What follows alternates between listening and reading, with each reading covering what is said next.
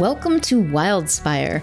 You get to be a fly on the wall for my intimate conversations with entrepreneurs who are changing the world. I'm your host, Stephanie Benedetto, coach, storyteller, and unmarketer at The Awakened Business, helping coaches and change making entrepreneurs unleash their inspired message and share it with playful unmarketing. I'll ask curious questions and explore uncharted waters with my guest today. Anything can happen when we step into the unknown of infinite creativity, and that's where we're we're going to play.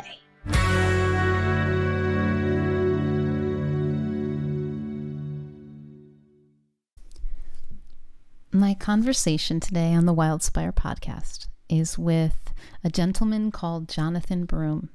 He has just a lovely presence, um, a soft voice, and together we explore the idea of purpose, finding your purpose, and meaning in your life and discovering what it is that you're here to do. We explore some reflective exercises that Jonathan uses with his clients that you can do along with us to go deeper into that. But even more so, we touch the truth that your presence right now is already a contribution. Let me tell you a little bit more about Jonathan Brum. Jonathan is a dedicated coach with five years of experience in leadership and life skills coaching. Jonathan specializes in helping young adults from generational wealth backgrounds find their purpose and contribute their unique gifts to the world. Jonathan's coaching is rooted in ontology, focusing on the study of being and the heroic journey each individual undertakes. With a professional background in visual design, entrepreneurship, and serving as a purpose driven leader and board member in his family business, Jonathan brings a diverse skill set to his coaching practice. Jonathan helps people go from feeling lost to becoming leaders in their own lives. He supports those who struggle to take action towards their dreams and seek to perform at their natural best with ease. Beyond his professional skills, Jonathan's personal journey has deeply shaped his understanding of life and his commitment to helping others. He experienced the challenges of finding one's unique path and believes that people can set their support systems and learn success skills so they don't have to wait for a midlife crisis to figure out what they really want in their lives. It is my great pleasure to introduce you to Jonathan Brum. Hello, Jonathan. Welcome officially to my Wildspire podcast. I'm very happy to have you as my guest today. Hello, I'm so excited to be here.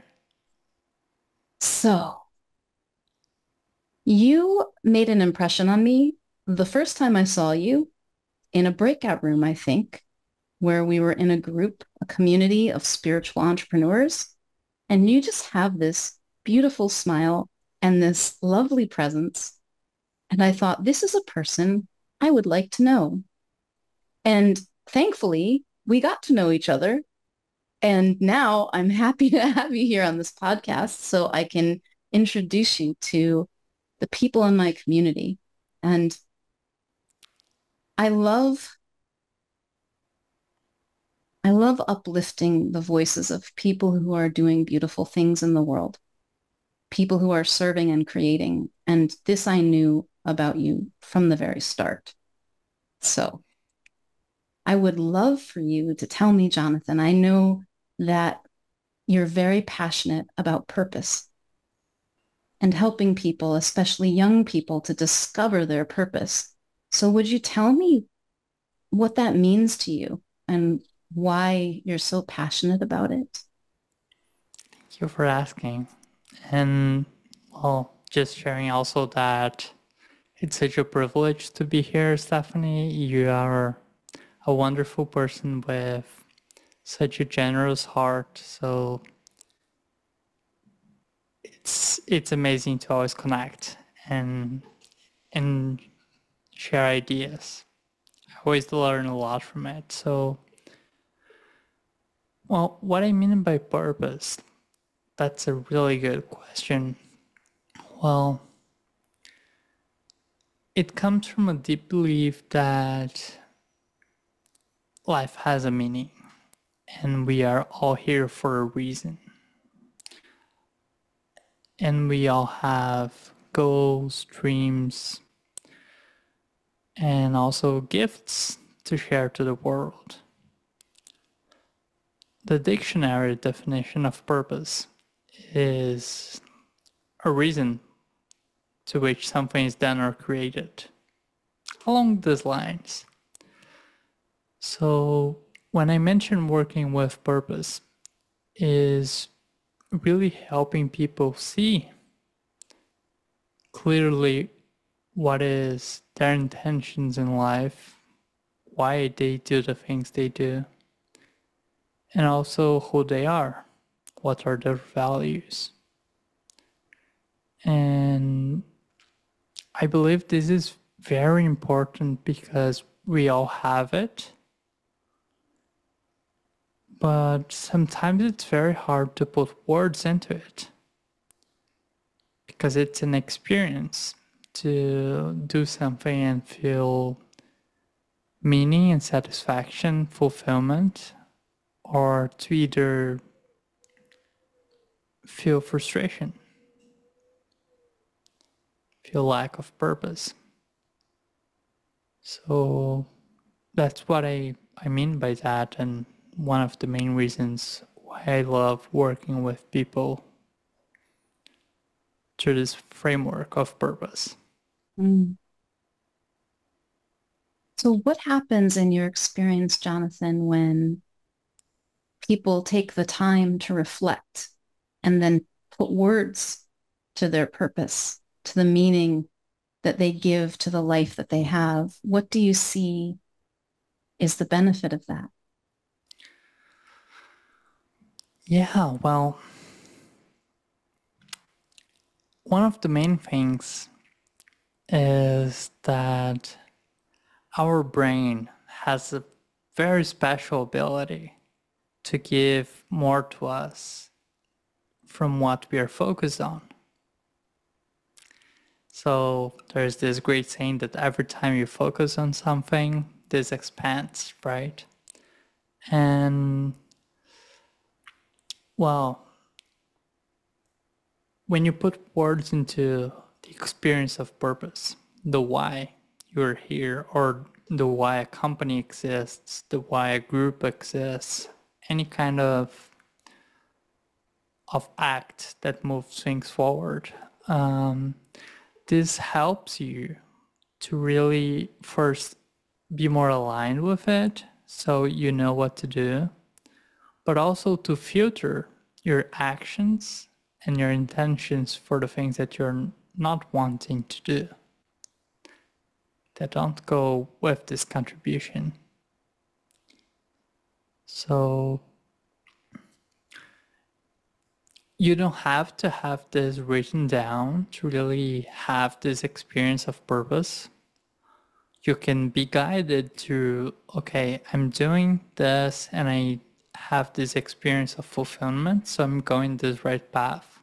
And then you can suddenly do something in other areas of your life that doesn't feel right. And it can be like that by chance, or you can put words into it and be more clear on your focus so you don't have to go to some experiences that's what I think it's really beneficial. Mm. So if I wanted to find my purpose and maybe put some words to it, and you were going to help me do that, what would what would you ask me or how would you help me find my purpose? I'm thinking about someone who might be listening or watching and really wants to know. I hear this a lot. A lot of people come to me and say too, like, I really want to know what I'm here to do. What's my calling? How would you help someone like that?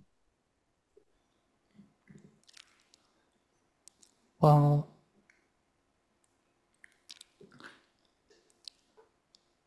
the first thing is be sure that you have a purpose because sometimes this question is like, I'm wondering if I have a purpose. And yes, you do. You're here for a reason, and your presence in this world is a contribution. We are having this conversation right now, me and Stephanie, because people are listening to it. So even by listening to something, you're contributing to the lives of others because you're making this podcast happen, right? So that's the first part. Well, second thing that I would say is that I believe that the purpose is something that it's quite the same for your entire life. The reason why you show up at work, the way you show up with your friends, it's all the same. So the way you write it may change, but it comes from the same source. And with that comes the idea that when you look to your past, so this is how I could help someone, is you look to experiences that were really impactful for you. People you really admire, people who in your young ages helped you see something different from life or really sometimes even traumatic experiences you had. They they happen with really powerful emotional states. So something that one can do by themselves is to have a list like five to ten powerful experiences they had like something someone they really loved something that went really bad in their lives. And then you can ask yourself, what did I learn from that? And what is the contribution to my life or to the lives of others from that learning? Probably you see a pattern emerging. Mm. But also, there are like many ways to do it. Um, to put like to create a purpose statement. But I want to offer you like an exercise as well, and you can do this at home. And you can do this right now, Stephanie. It's one of my favorite exercises. It's amazing, really. I love it. So think about someone you really admire. Let's make a list of three people you really admire. Um, if you have the time to, to grab a pen and write down, you can do it. Otherwise, you can do it in your head. Now, I want you to put into words what you really admire about them. And you say it as an adjective, like this person is courageous, this person is loving, is generous,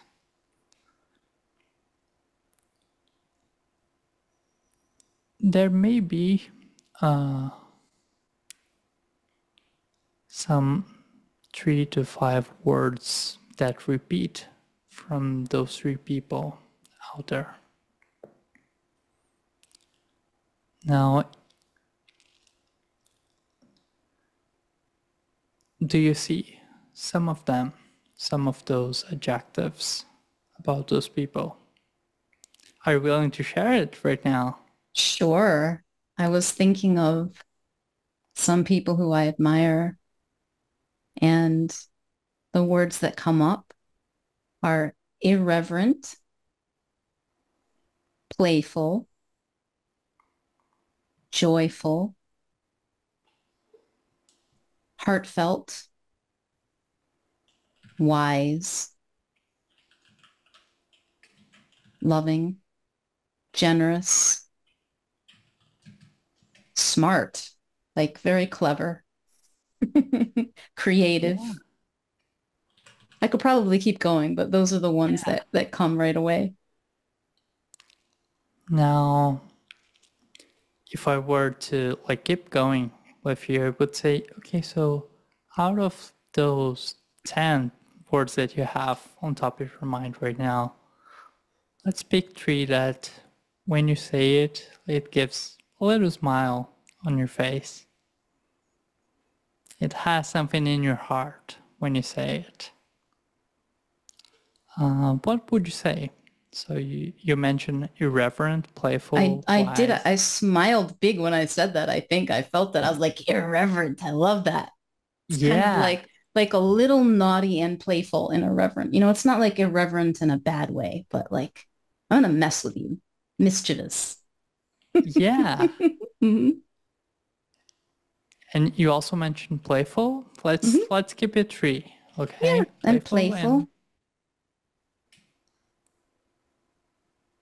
and i like this this heartfelt like heartfelt loving that that type of word yeah heartfelt loving beautiful now and also guiding you if you're doing this at home okay so that's the key point did they mention any person to you to use this exercise on or not. It was in your, in your mind, in your heart, right? And I didn't mention any word to pick. You said it. Mm-hmm. That's true. So, are you willing to see that this is who you are?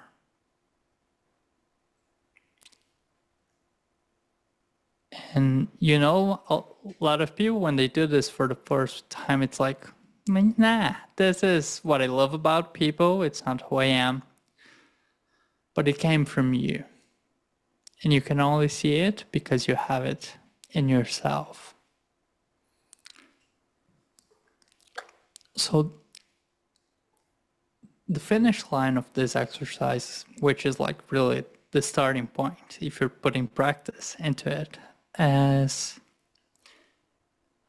when you are in a situation where you feel frustrated or even resignated in some area of your life, you can see it at this list. Look at it and see, well, I am irreverent, playful, heartfelt, loving. This is who I am. And what would a person who is irreverent, sorry, irreverent, playful, or heartfelt loving do in this situation? So you're aligning yourself with an action that comes from who you really are. Hmm. That's cool. What is interesting to me about this is that when many people come to me asking about their purpose, they are assuming that their purpose is something they do. It is a job that they have. It is a skill that they possess. And what you're pointing to is that your purpose is not what you do, it's who you are. It's who you be. So what do you see about that? Jonathan, about the confusion that people have with their doing sometimes around purpose. Yeah, it's it's a very natural thing to like make our identities be our jobs or our family, our community, my church, something like that. Well, I love the work of Simon Sinek, which really inspired me to go in this path that I'm on today. And he has a beautiful concept about the golden circle, which is basically three circles, one inside the other. The outer circle is the what. So a lot of people know what they do. And in the time Simon Sinek gave this talk, many companies were just talking about what they did. And this doesn't inspire anyone because it's not connected to their hearts. So, well, I sell computers. It's not something like, oh my God, I really want to believe this person or this brand. Um, and the same thing happens with jobs. So, yeah, I work at finances. I work with public health. Any job, it's a what. Inside this what, it's how. So less people know how they do it, and less people communicate how they do it. But sometimes it's effective. Uh, so some brands may say that, well, without computers that are have really good processors and it's really fast and it's a really good computer and we do this with a lot of design. It's a how. And the same thing happens in people's lives. Well, I'm not just a doctor. I I'm really good at eye surgery. I can do like really different things with it and I help a lot of people with it and they mention a lot of hows. And the inner circle, as you said, the being of the person is the why they do what they do. It comes from who they are. And I also believe that every company, even if it's not a purpose-based company, can find the why of the company as well. It has a heart in it. And every person has it too. So in in this framework that I believe Simon Sinek did perfectly, when you mentioned I'm not sure about my purpose, uh, you you can work with a purpose statement, the why, and it has certain structure. So this helps people understand better what to look for when they want to write down some kind of purpose statement, which I think is very interesting. In the first part, they have an action that is a contribution because your presence is always a contribution and you move your community something towards some kind of direction just by being present. And this contribution creates a certain impact. You can say it in the world, but it's really in the heart as the word is your community, your family, your church, the groups you're in. It's the experience that the world is a little better because you're here. So I can mention mine to, to make it more clear. Uh, the way I did my purpose statement is that my purpose is to support others discover their purpose to, to support others as the contribution.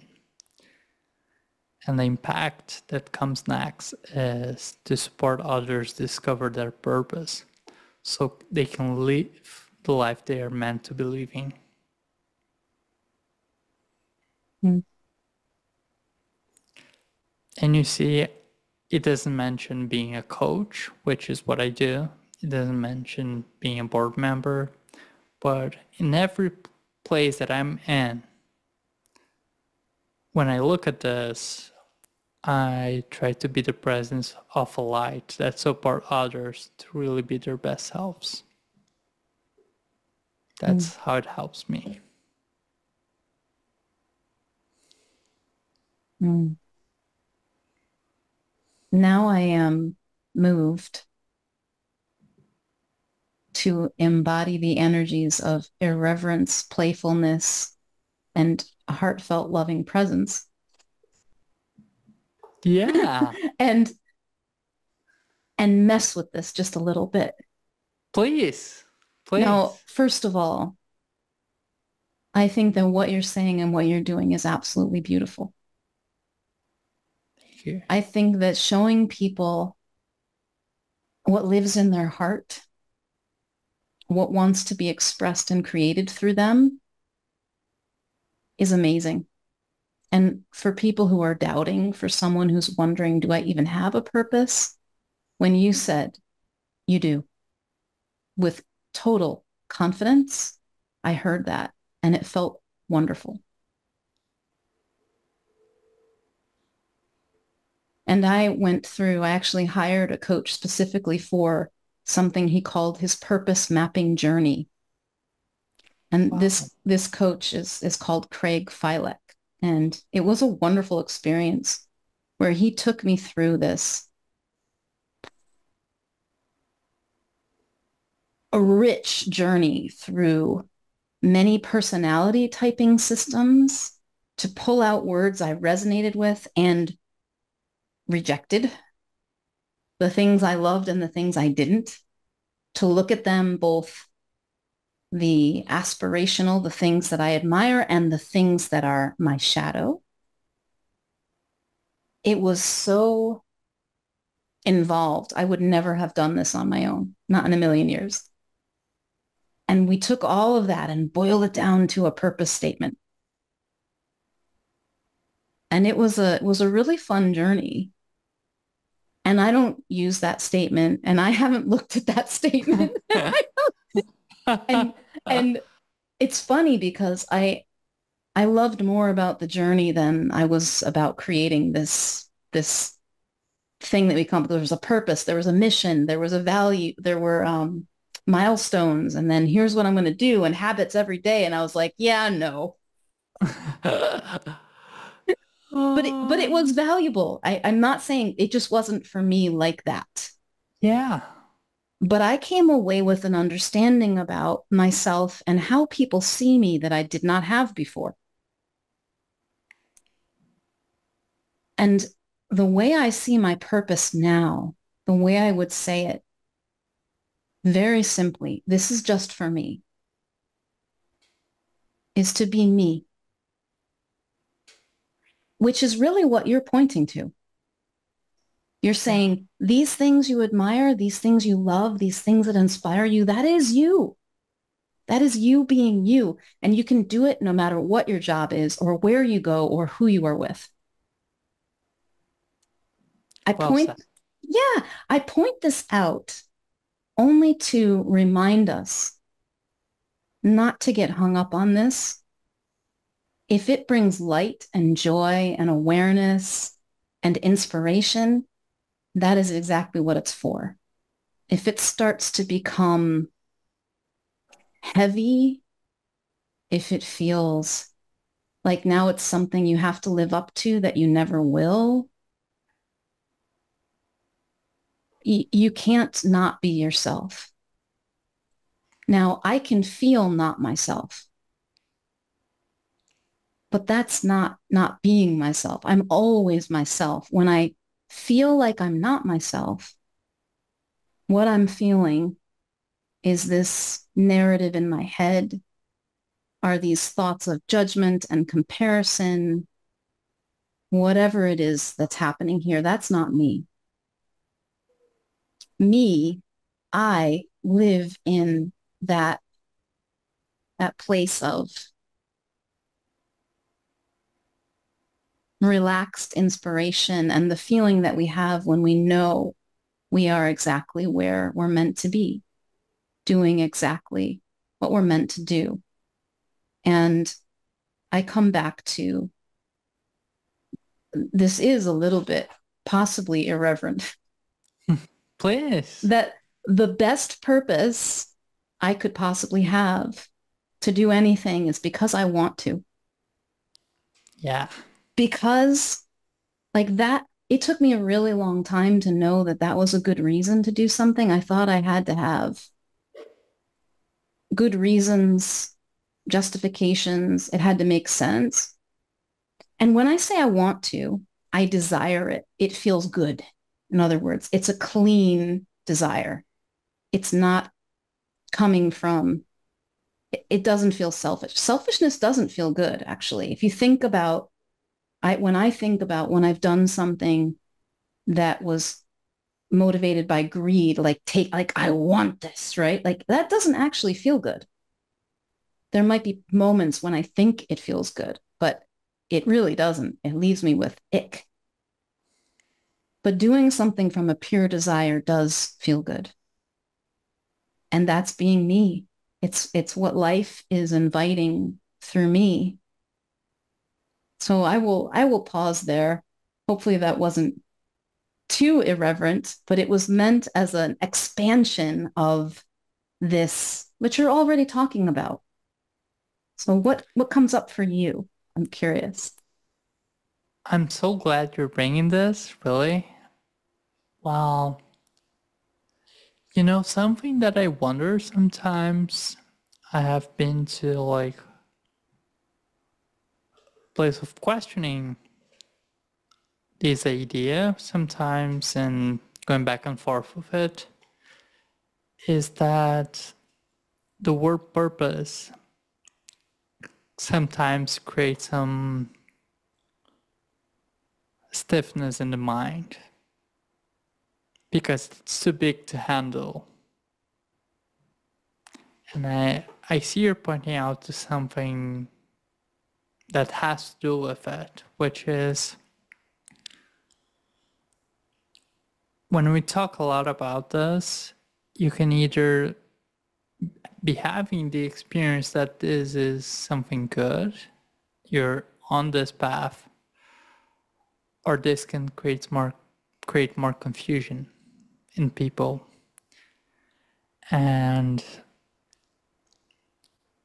and yeah, sometimes I even ask if keeping using the world the word in this framework of purpose um, is the best way to communicate what I'm sharing because the heart of it, as you said, is the being, being you.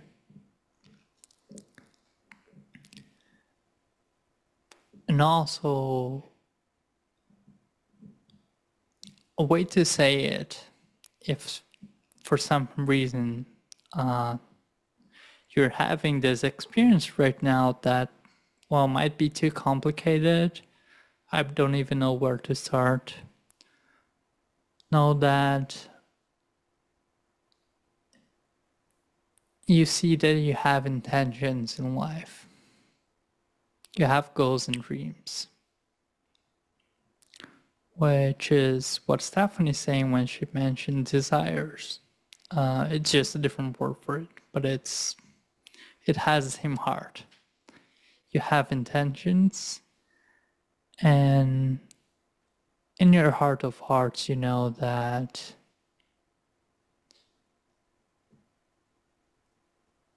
you're here to make a difference, even to yourself, even the small, smallest difference. You want to know that when life ends, the world was just a little bit better because you were here. And that's all, all it is about purpose. You, you being you and you moving forward the intentions that you have in life.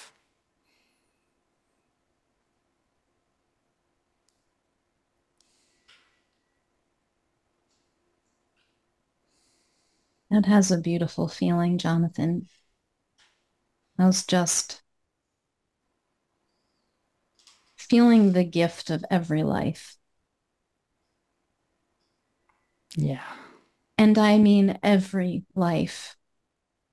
even the people who my little mind might go, oh, but not them. Surely you don't mean that person. And this is where I think there's a friend of mine was struggling around this idea of value, of their worth, saying, I don't know my value, which lives right next door to purpose, right? Because if I have a purpose, I have value. If I don't have a purpose, I'm purposeless. I have no value. I mean nothing. And I, I understood this in one sense because if I imagine myself thinking I have no value, I have no purpose, it feels horrible. But then what I don't understand is that this person loves people and sees the natural born value in every person without doing anything, without saying anything, simply being. Like when I when I go outside and I look at this tree, I look at the ocean. Does it have value? Does it have worth? Does it have a purpose? Now, not in the way that a person can. I don't think someone might tell me I'm wrong. I don't think that a tree thinks about its purpose. And yet without trees, without plants, our life on this planet could not survive. We couldn't breathe the very air. Without the oceans, we couldn't have life. And even the smallest things maybe they seem purposeless, but they can't be. What's interesting is that as humans, we create meaning. And it seems to be very important to us to have a sense of that meaning, a sense of purpose, a sense of why I'm, am I here and what is my life for? And yet when I zoom out, I see the perfection of it with or without a meaning. And I think a meaning is just another beautiful way we have to express the aliveness and the perfection of being a part of life. And none of that contradicts any of what you're saying as far as I see it. You know, it's just showing another side of it or um, exploring it from a different angle because I feel what you're saying and what you feel, what you're saying feels like this to me. Yeah. Well, a, a great teacher said to me that those are, there are four, four realms in the metaphysics and they have different contexts. So they can be right, even though it seems like different, yes. you know? So in, in the realm of creation, uh, the experience of purpose, as you said, can be the experience of you don't have to, to even put words into it because it just as it is. It's perfect as it is. This can be seen from like cosmology or also from theology. Uh, what I'm sharing here, so there are four, four realms. This is like the main ones. Uh, the other one is psychology. And you mentioned perfectly when you said the work of this coach who looks at your shadow, your habits, your goods and bad things, things you don't want, things you want. Um, it's also important, but it's in a specific context. the context I'm sharing is ontology. So even though you have emotions, you you can learn from learn from the experiences you have and see the lessons and what your intentions in life in your life is from this cosmology and theological point it's just the experience of itself some people could mention it's like uh, being in meditation and just being present to the moment or to the universe. So that's what I'm saying about those different points of view is that they are all present, but they're just different contexts to which you apply the things that you need. Yes, that's brilliant, Jonathan. And that I've heard this expressed as I usually um, think about it as the in the the three principles um, spiritual articulation as the universal and the personal. Yeah. So the personal is Stephanie, is being human, is this experience. And then the universal is all it is, the the larger spiritual perspective, which probably aligns more with both creation and maybe the ontological realms you're talking about. But the the personal is very much psychology, right? Like the individual, yeah. what's going on up here. What was the fourth? Where that was so you have theology, which is the experience theology. of God and creation, and you have like cosmology, which is the creation of the world through physics, through this the context of like, yeah, I would say physics. How the world is created, living things, biology, all the studies of nature. Beautiful. So I love the ability that we have to talk about this from different perspectives and to be with them. This is also a unique human ability to be with these apparent paradoxes and find find the place to be in the moment that comes with that feeling of lightness and expansion that brings us what we need in this moment. And I find that when I go to the universal and then come back to the personal, or perhaps if I went to the theological and then came to these others, approach the others, it has a different, it looks different.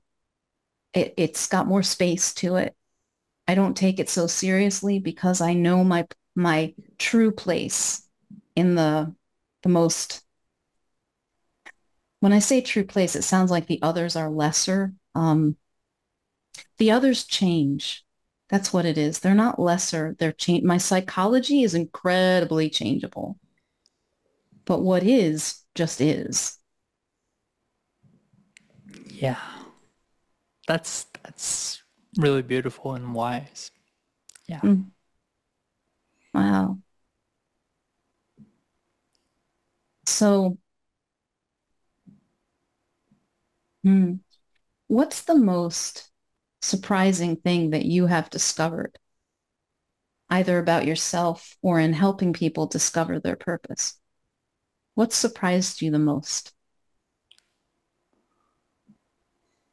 Great question. Well, I will say this from the point of view that I learned through the school that I've been, the coaching school, which is it's a great learning, but it surprises me every single time because it's a practice that I have to to be willing to do it like this. So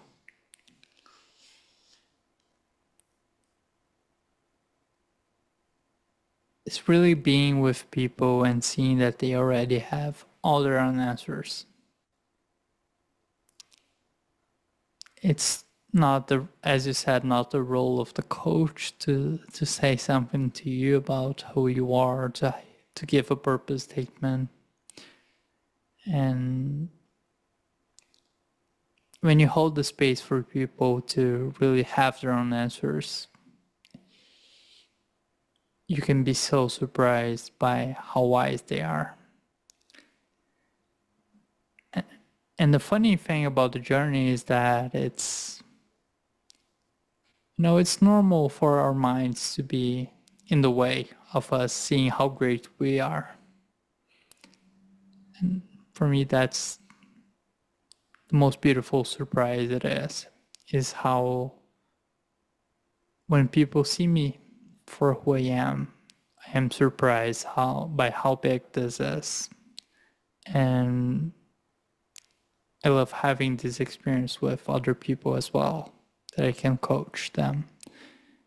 And it's one of the things that not only surprises me, but really excites me and gives me a lot of emotion is how great you, Stephanie, are at holding this space of seeing people from who they really are. And for me, that's the most beautiful part of this journey. I love that we can do this for each other and with each other. as soon as we really get present, start being with what's happening right here and less with what I'm thinking about it. I just I just attended a three-day listening summit. See, I am going to talk about it a little. And one of the speakers there, she's been a guest on my podcast. Her name is Mavis Karn she said, I listen. I listen until I can feel the golden cord that connects me with this person. Mm. I see, my job is to see the perfection and wisdom that they are, what you just spoke to, Jonathan. And when I'm not thinking, you know, I can have thoughts, but I'm not actively thinking them. And I'm just being, and I am listening like I'm listening to music. It is obvious. It is undeniable. I feel that connection. And it is both the universal and the personal. It is it is being with the reflection of me. It's like God seeing God. It's the universe seeing the universe. And also this unique expression that can only come through Jonathan that is just for you will never exist like this again.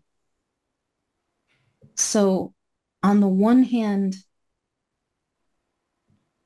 completely unique and special, and on the other hand, an ordinary miracle. And that we can do that, that we can see each other. And I imagine if someone was listening to this and they had no idea what we're talking about, but they can feel something, that's it. You can feel that connection. And some people haven't felt that with another person, but they have felt that with a pet or maybe in nature.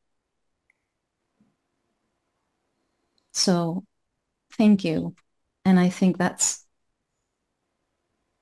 what a beautiful surprise that is. yeah. Thank you. So if there was one thing, Jonathan, that you could share with someone that you think would make the biggest positive difference in their life, what would that be? What would you want them to know? Well, I will give you something to use because uh, as we said in this podcast, there are many things that I believe you are. You have a purpose, you have goals and dreams, you have a desire to make a contribution. And you can know this in your mind, but I want to give you something to use that it's very simple, not something like out of the box magic happens, but if you if you use it, it's a gift to move you forward. So get this perspective you have in your heart those goals and dreams and also this reflection as we did this exercise together stephanie um, of qualities of being that you are and sometimes you just you know have thoughts that say otherwise that are thoughts of worry and doubt. We all have it, especially when something important comes up. So, the gift that I want to give people is a simple phrase that they can use that really brings their heart, their purpose, if you will, their being forward, which is nevertheless I am willing. When you use it, um, it creates new pathways on your brain to see opportunities to really be who you are. And you can use this in, in any situation when you're showing up to something that is important to you. Nevertheless, I am willing and you can go through this with way more ease and move this forward.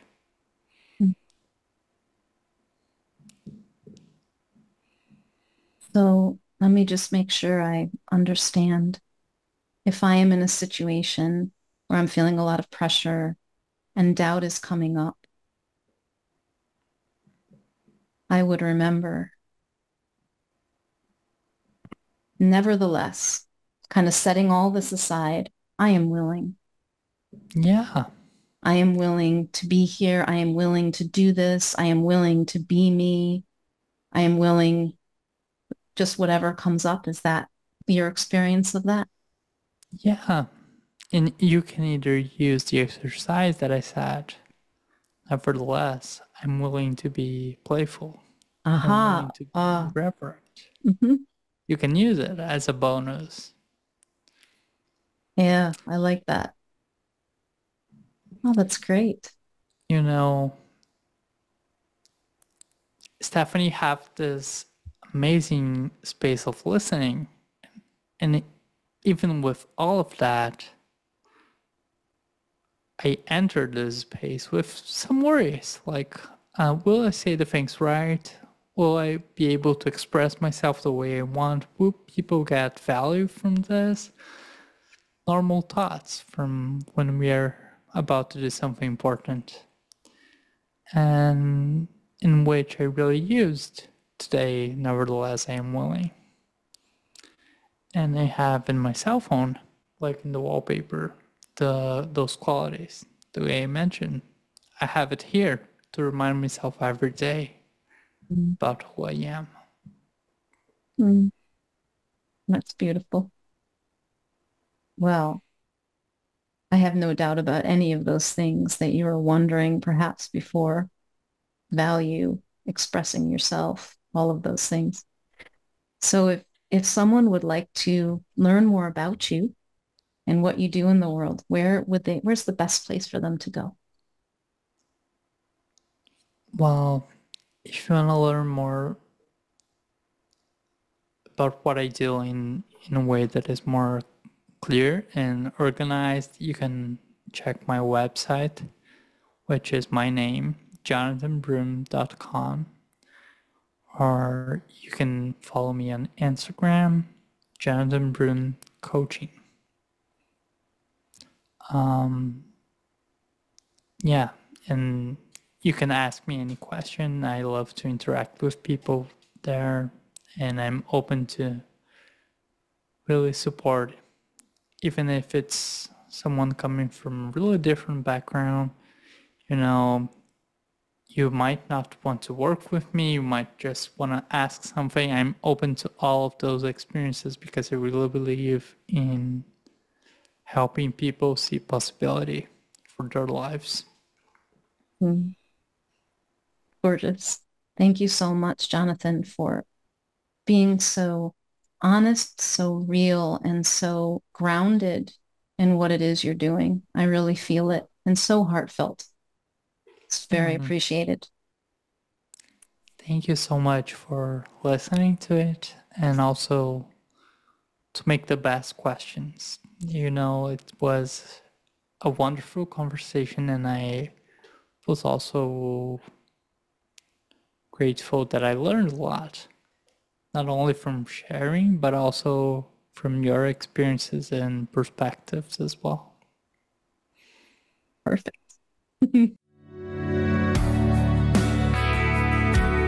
Thanks so much for joining me for today's Wildspire conversation.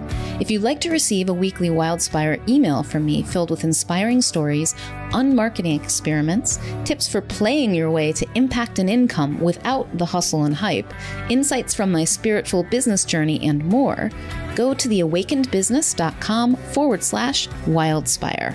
Until next time, may you know yourself as the gorgeous wild creation you are.